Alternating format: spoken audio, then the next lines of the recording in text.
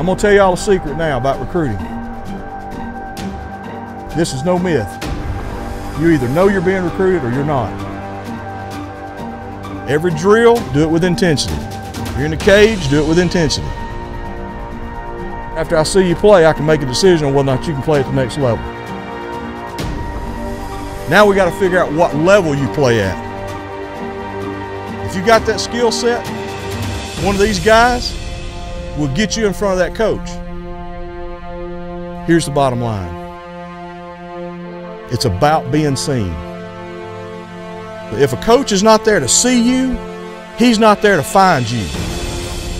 Every kid NSR works with, every kid will get recruited. Every one of us have contacts at every level. And we know how important it is to be able to play at the next level.